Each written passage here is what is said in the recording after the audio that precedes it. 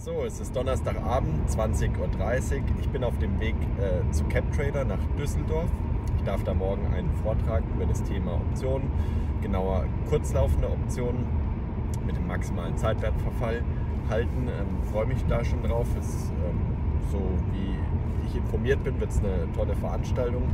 Ich glaube, es kommen 200 äh, CapTrader-Kunden und ähm, eine ganze Menge weiterer spannender Vorträge. Abgerundet wird das Ganze mit einem Pokerturnier am Abend. Also das wird ähm, sicherlich ein schönes Event.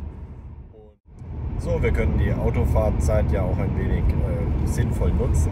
Und äh, der Vortrag, wie ich es ja schon erwähnt habe, geht über das Thema kurzlaufende Optionen. Und ähm, das ist eben ein Großteil unseres Handels, machen wir eben sehr gerne mit diesen kurzlaufenden Optionen. Das heißt, wir sind wirklich nur ein paar Stunden ähm, am Tag wirklich im Markt engagiert. Und das hat natürlich den, den riesen Vorteil, dass ich in dieser Zeit einfach den maximalen Zeitwertverfall habe. Weil wenn ich am Ende des Tages eine Option wertlos verfällt, also ihren Verfallstag hat, dann geht eben nicht mehr Zeitwertverfall, weil entweder ist die Option am Ende im Geld oder sie ist eben wertlos verfallen. Das ist von der Umsetzung ehrlicherweise ähm, dann schon ein bisschen anspruchsvoller, also wie man den Trade dann aufsetzt, ähm, wie man ihn auch managt, dass man eben auch die Verluste ähm, begrenzt, weil wir wollen ja auch nicht den ganzen Tag vom PC sitzen, sondern wir wollen den Trader quasi nach so einer Set-and-Forget-Methode aufsetzen. Das heißt, wir buchen ihn einmal ins Depot ein und ähm, überlassen ihn danach sich selbst. Idealerweise verfällt er dann am Ende eben wertlos oder nahezu wertlos. Und deswegen gab es ja auch diese gemeinschaftliche Idee mit CapTrader, weil eben dann viele Kunden auch gesagt haben, okay, das ist zwar eigentlich ein schöner Ansatz, aber ich kriege es einfach zeitlich nicht hin, bin viel unterwegs oder äh, bin entweder viel unterwegs, weil ich ähm, vielleicht noch mit dem Unternehmen viel zu tun habe oder weil ich äh, zwischen Surfen und der Cocktailbar äh, das nicht zeitlich unterbringen kann. Es gibt ja immer die unterschiedlichsten Stories. Und ähm, da kam dann eben auch die, der Bedarf eben immer stärker auf nach einer quasi fremdgemanagten Lösung. Das heißt, dass ähm, jemand anders, in dem Fall wir, uns dann quasi um die, die Orders kümmern.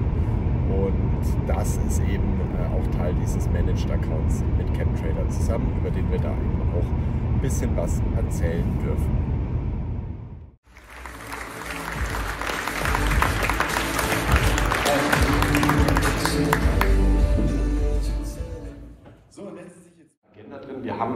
So einem Thema jetzt auch mit CapTrader einen Managed Account eröffnet. Dazu werde ich auch ein bisschen was erzählen. Mir geht es aber jetzt vor allem auch erst nochmal darum, ein kleines Stimmungsbild einzufangen.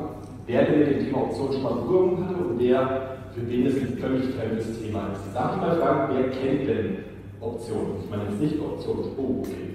Ähm, das überrascht mich positiv. Wer hat Optionen schon mal, schon mal gehandelt? Okay, auch einige. Und wer hat noch nie mit Optionen was zu tun gehabt?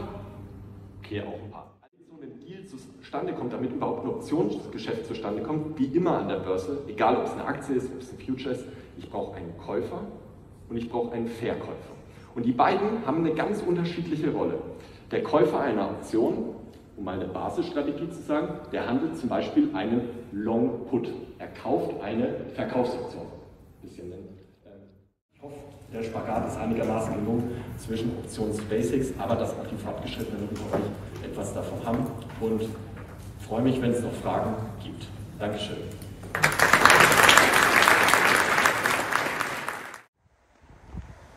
So, ein kurzes Zwischenupdate zum heutigen Tag.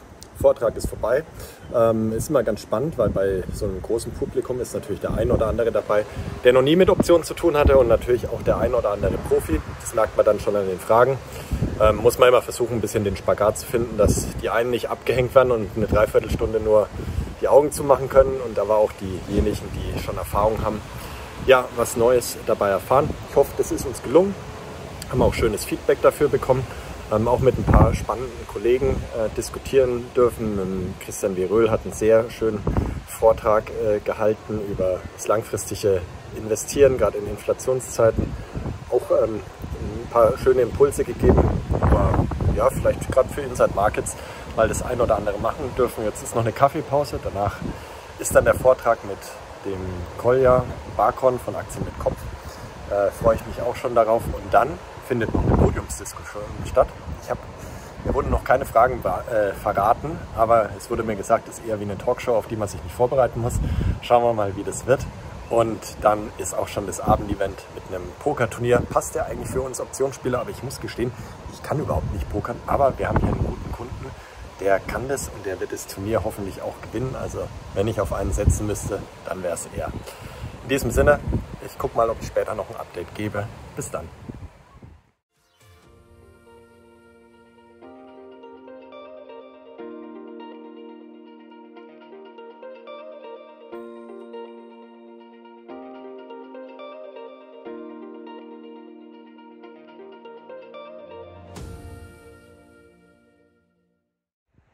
So, das Event ist jetzt im Abendprogramm angekommen. Es gibt hier noch einen Pokerabend.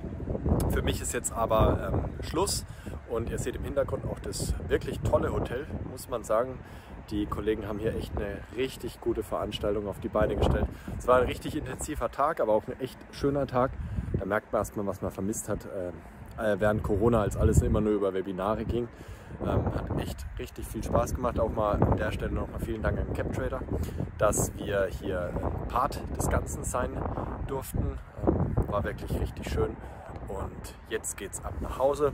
Jetzt ist 20.30 Uhr. Mal gucken. Vier Stunden werden es sein, aber alles kein Problem. Bis dann.